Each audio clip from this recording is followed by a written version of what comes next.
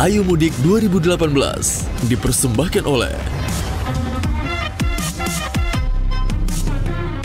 Selamat siang pemirsa Anda menyaksikan redaksi utama Ayo Mudik bersama saya Taufik Imansyah. Pemirsa empat hari jelang Hari Raya Idul Fitri, arus lalu lintas di kawasan Dermoleng Brebes, Jawa Tengah siang terpantau ramai lancar. Begitu pula di kawasan Lajapolah Tasikmalaya, Jawa Barat.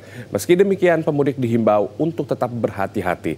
Dan untuk mengetahui pantauan jalur mudik, sudah ada Fani Supeda di jalur utara dan Monica Nueva di jalur selatan. Laporan pertama akan disampaikan oleh Fani. Silakan Fani.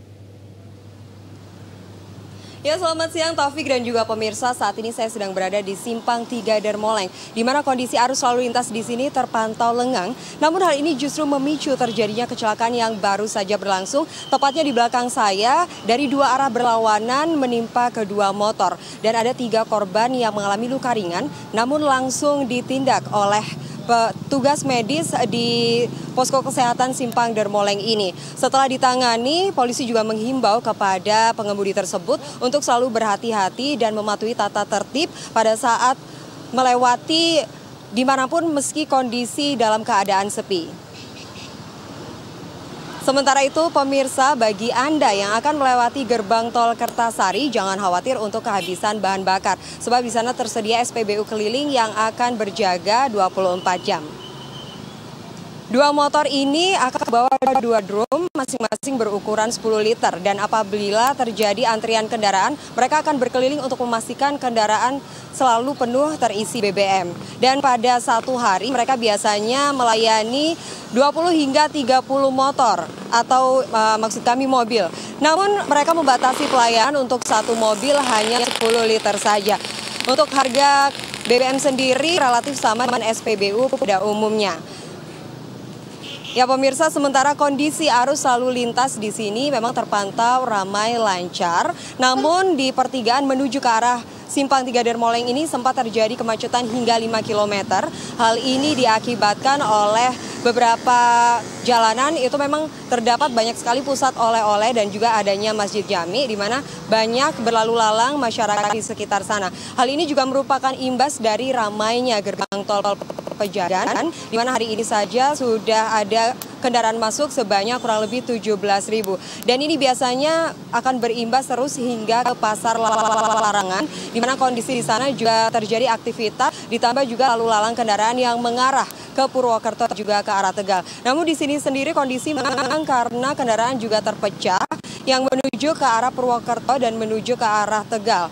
Dan pemirsa apabila kondisi ini akan terus berlangsung dan kondisi arus lalu lintas ini akan padat nantinya, tim URA yang selalu berjaga dan berpusat di posko pengamanan penjagaan akan terus bersiaga untuk melayani masyarakat dan mengurai padatnya arus lalu lintas. Di sini juga tersedia beberapa fasilitas yang siap siaga 24 jam. Demikian yang dapat kami sampaikan di Brebes.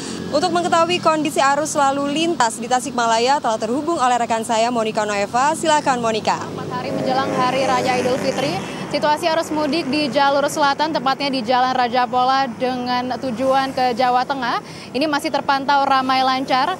Dan untuk volume kendaraan sendiri juga masih dominasi oleh kendaraan roda 2. Informasi yang kami dapatkan dari Dinas Perhubungan Tasikmalaya, sudah terjadi peningkatan jumlah kendaraan sebesar 50 persen hari ini dibandingkan hari Minggu kemarin.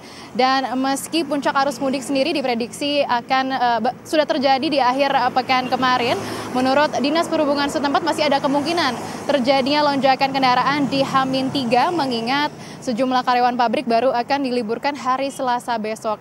Dan kami ingatkan lagi pemirsa bagi Anda yang berencana untuk melakukan perjalanan mudik untuk tetap berhati-hati dan menjaga kecepatan kendaraan Anda agar selamat sampai tujuan. Selain itu pemirsa, di antara ramainya pemudik yang menggunakan kendaraan pribadi menuju kampung halaman, ada beberapa orang yang memilih untuk mudik menggunakan sepeda. Sebelum berangkat pastinya berbagai persiapan perlu dilakukan mulai dari mengecek kondisi sepeda sampai membawa berbagai perlengkapan yang mungkin diperlukan selama perjalanan. Anggota Goes Mudik 2018 ini memilih untuk uh, mudik ke kampung halaman menggunakan sepeda karena dianggap memiliki sensasi yang berbeda dibandingkan menggunakan kendaraan umum maupun kendaraan pribadi. Dengan menggunakan sepeda, mereka bisa lebih banyak berinteraksi dengan teman-teman maupun dengan masyarakat sekitar yang mereka temui selama perjalanan.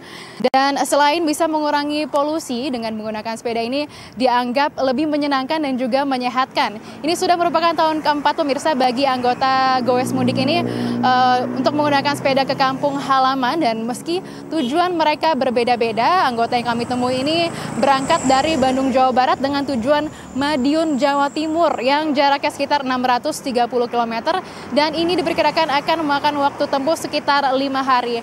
Sementara untuk tempat istirahat pemirsa nantinya mereka akan berhenti di sejumlah tempat, termasuk di masjid maupun SPBU, untuk melepas lelah sebelum melanjutkan perjalanan. Untuk sementara demikian laporan kami dari Jalur Mudik Selatan, kita kembali ke studio Taufik. Ya, terima kasih Monika Nueva dari Tasikmalaya, Jawa Barat atas laporannya dan sebelumnya sudah ada Fani Supenda dari Pejagan, Jawa Tengah. Selamat bertugas kembali teman-teman. Demikian redaksi utama Ayo Mudik. Informasi Ayo Mudik berikutnya dapat Anda simak dalam redaksi sore pukul 15.30 waktu Indonesia Barat. Sampai jumpa.